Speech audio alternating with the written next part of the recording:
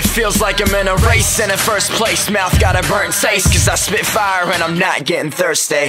First base on the first day, but I got a cute face, so I never wait for the third day. And rappers instigate, but that